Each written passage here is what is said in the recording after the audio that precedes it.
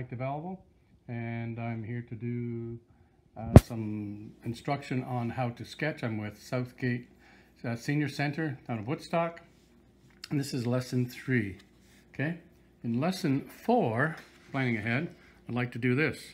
But before we begin to do this, working at the trees and the rocks and getting the distance ideas through there and all the complexities of that, it looks like it's difficult. It's not really. What we're going to do is a few things first, okay, to get ourselves ready. First thing we're going to work with is we're just going to look at what happens when we do certain movements with a pencil, okay? So the pencil, if your lines are this way, it affects the direction of what you're looking at. Okay, this is hatching what I'm doing.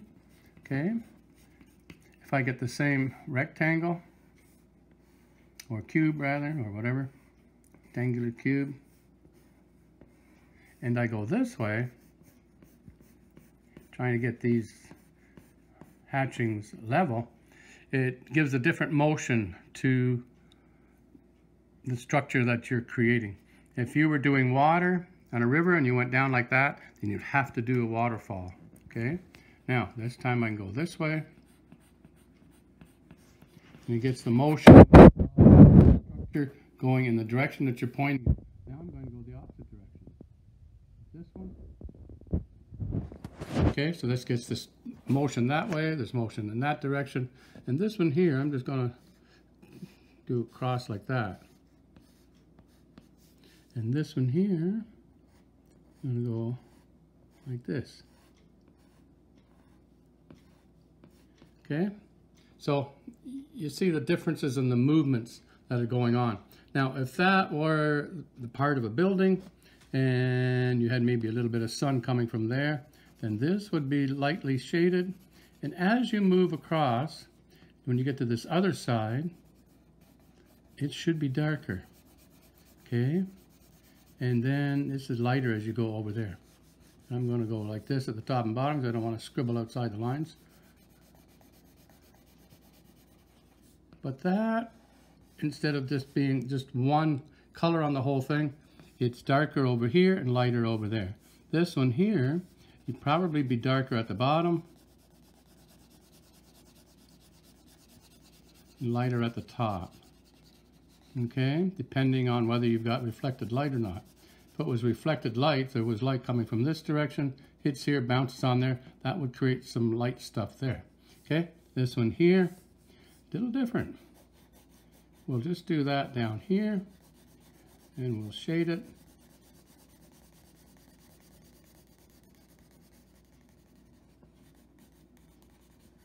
That.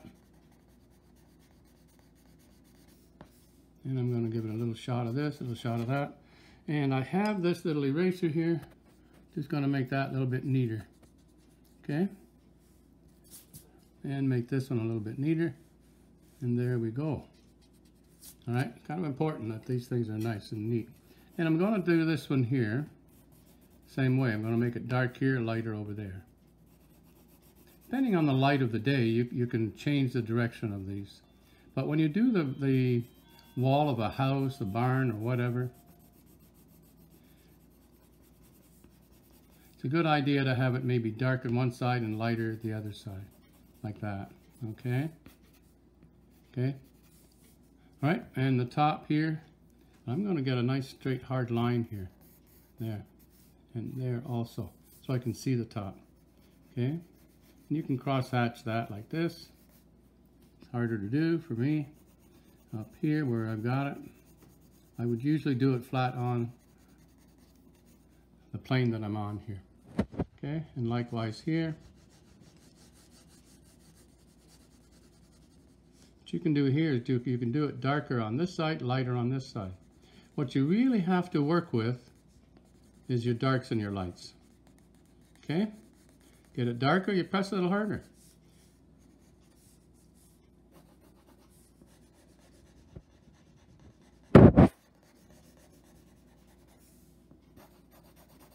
Alrighty. So the direction matters, and this, this will create motion for you.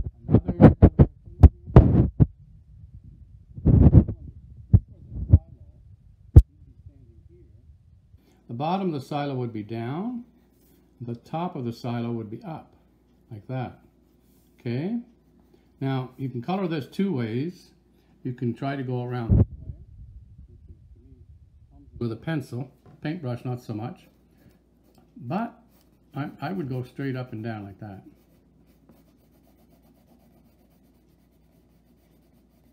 Now, this area in here,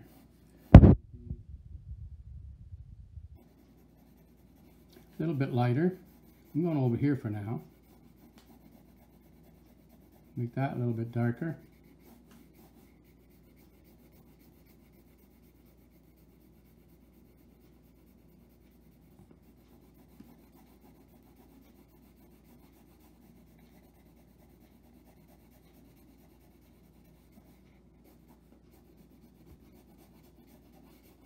And what you can do here too, that off, just like that. Okay? Yeah, it's not so bad. And if you want to then you do this. Now the tops like that, and eventually when you get to about eye level, they'll level out and then they'll go underneath, like so. See, and I'm trying to get it to turn. And they'll go around the corner, around the corner. And this here will go around the corner. Okay? All right? That's not so bad. Now, the circle. If you can get a circle. Okay? Usually, We'll say that that's the color of the paper in there. Then you get your part here that you don't really color. And I'm going to do that. And as you get over here, it gets a little bit darker. Now, you have to move your pencil with the shape of whatever the object is that you're dealing with, okay? Here I moved with that shape. Here I'm going down that way. Changes direction, it'll change uh, the motion that you're dealing with. There's, there's always motion to this stuff. Okay, so here. Now, I'm moving this way, and I'm heading for here, okay?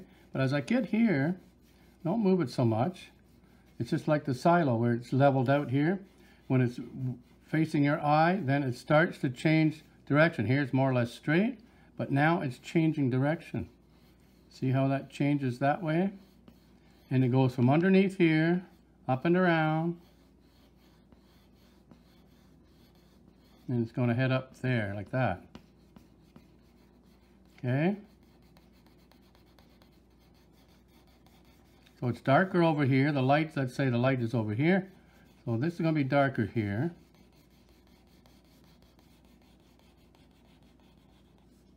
And that's going to be a little darker in there because it's facing away from the light source. And if this was an apple, be like that, then you can begin to do this trick.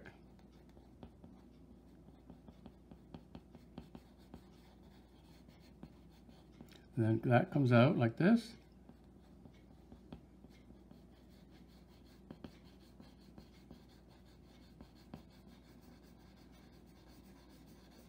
I'm cross-hatching all kinds of different ways here.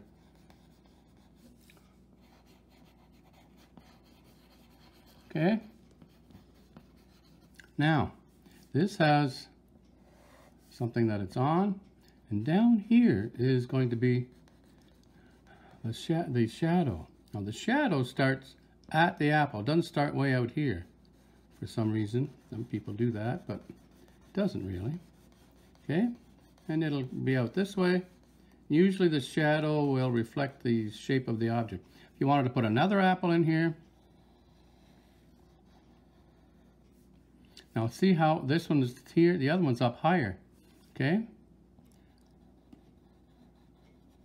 I'm going to put that in there right now.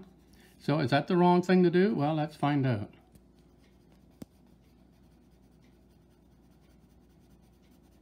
Now this should be darker in here because this is shading this part. So the way I like to do work though is to have something that's real in front of me. Okay? But right now I'm just working from what probably sh should be happening. This is going to be darker here. It's like this is dark, so is this. And this apple there is being shaded by this guy. This should be a little bit lighter here. If the light is hitting here, it's bouncing here. That should make that lighter, this area. A little bit lighter, it should be darker over there. Okay? And will be darker on this side.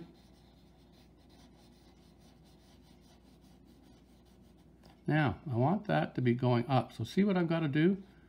See this the motion here? The motion here is up and over. I'm telling it what it's doing by how I move these lines. These lines matter.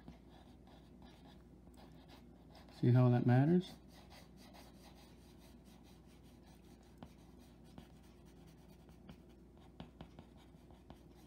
And I just pull on, on the pencil. I don't want it to get really dark. Now, is this right? Well, let's put a shadow in here.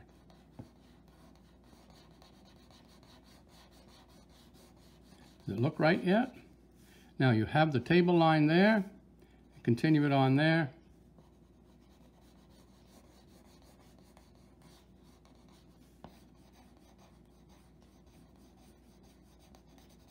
It's not so bad. It has to be up higher. If it was right here, you wouldn't be able to overlap. Okay? So this has to be up a little bit higher. Then you have your shadow there, and you end up with an apple, you know, and you do some of this and some of that. Okay, if you want, you can go around with your pencil like that, likewise here. You have to go with the shape of whatever it is that you're drawing. Alrighty. Now, going to apply that and that, put them together, okay? And let's do that over here. First of all, I'm to do this. The silo bottom goes up. The top of the silo goes down like this. Okay. Now usually a silo has a top on it, so I'm going to put a little dot. And then I'm going to go up to the dot from both ways. You can do it however you want. Okay.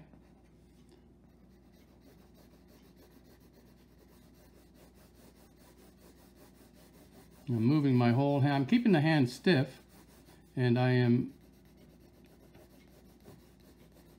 moving from my shoulder really I guess. I don't think about it too much, I just do it.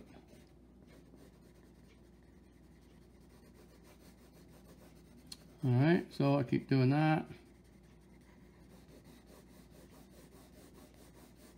Here's where it's light. It's like that up there. See now I went and changed direction here. This little thing there, just be like that, and there is that. Now, silo lines, like so. Now, the barn, one of these things. Let's go up like so. Now we go up a little higher like that, like this, And back, over, over. That'll be there. This will be like this here. I too big maybe? This should go about like so. And this is going over here. And this is where the little, little door is going to be. And when you're going to roll the door back over to here. And this is going to come down like approximately like that. Okay. And that'll be that. And here will be the ramp. Okay, I'm going to put that a little bit lower. You can always adjust. Now, not a very big barn, it's like a little, little tiny thing, I guess. Okay, now usually you will get a line like that and put your boards down here and put some more boards down here. And this here will be stones, big boulders that they've used to build the bottom. Likewise here. And this is the interior of the barn, probably with some divisions in here. Like that. Okay. Now, This in here is shaded by the silo, so we're going to make that a little darker. And we'll make it lighter as we get out to here. A little darker. And I'm going to make it a little darker on, underneath here. And a little lighter as we get over to here. I'm going to make that line in there again. This in here again. These boards don't have to be just perfect. Like so. Okay. The roof is probably going to be steel. And I'm going to give it a little of this. Okay, this part here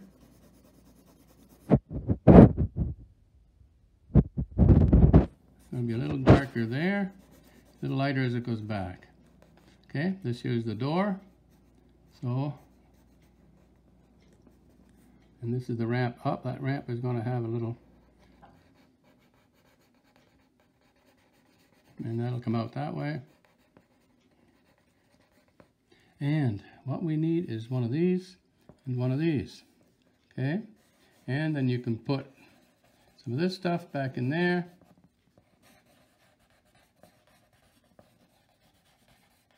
And of course some of that back there. And likewise here.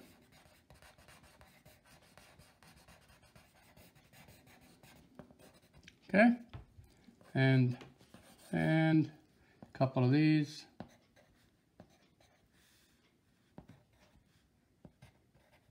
And you've got yourself what you need here.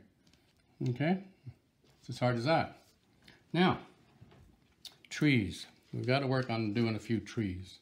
So, I'm going to do a couple of small ones here. Trees. The evergreen tree.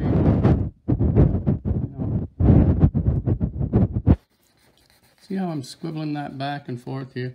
I'm not doing the Christmas tree look things that some people like to do. This tree has got here a trunk.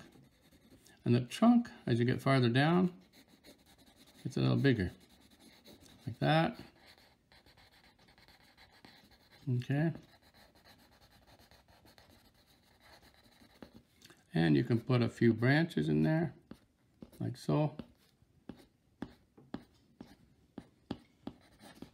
Okay. And I'm to put another one here next to it.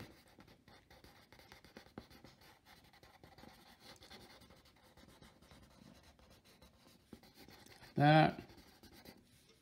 And then I'm just going to look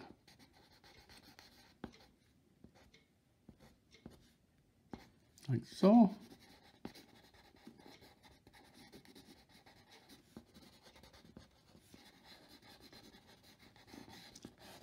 Okay, the thing here now is what's in behind there. Well, if you've got kind of a bush or something, then you can just, you know, do this.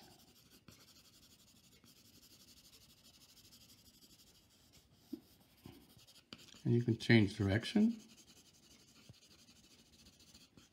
And like that. And if you want, you can do this. Try to avoid doing the straight branch thing, you know. A little bigger at the bottom, smaller as you go up.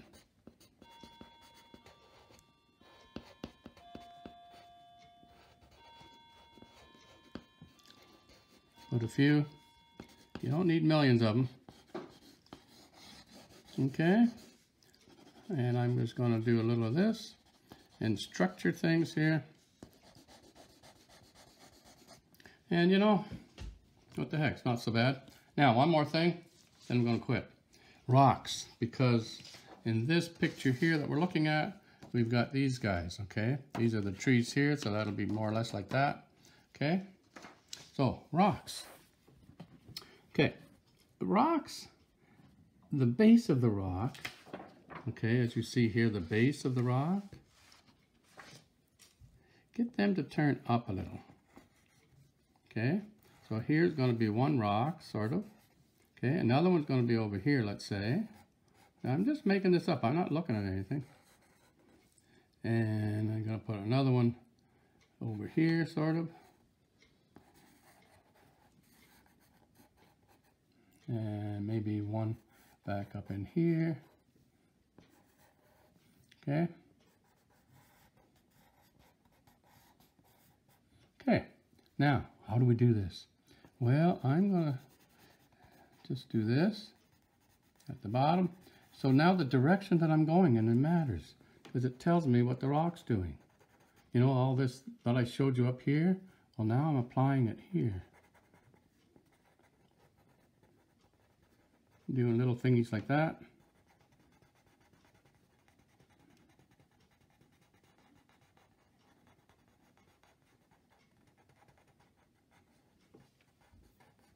like so. Now the trick here now is I've got light here, I've got to have dark there. Okay, so this is going to be dark. All right, like that. But then it turns lightish. Okay. So I pull on the pencil a little bit. And you can see the structure starting to take shape. I kind of see that there, so that's going to be like that.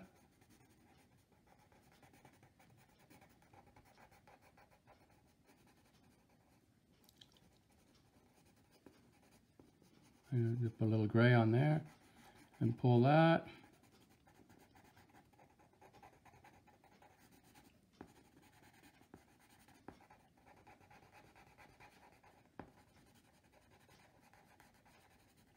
Just like that, okay? And I'm going to put a little bit thicker dark under there because it's going to be a little bit lighter here. And that's going to be darker in here just to separate it.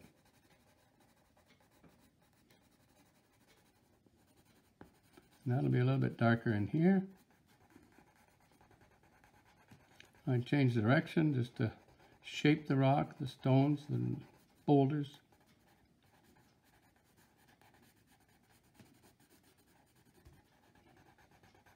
And the direction matters, so that I turn my pencil, okay? Because it gives you gives you some, some shape to these spaces.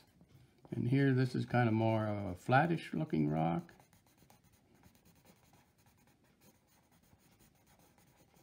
Okay, and just to put these on some dirt, I'm just going to put little shading things like that. I'm just going back and forth though, I'm not going up and down now. See, the direction matters. And if you wanted to, you know, and behind here,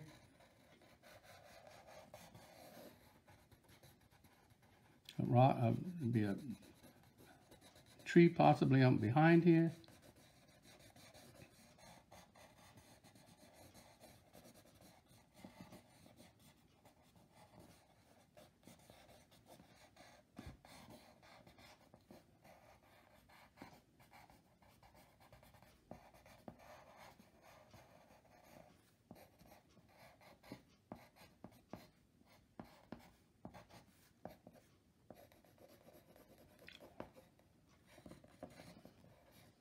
Gotta press pretty hard on that pencil.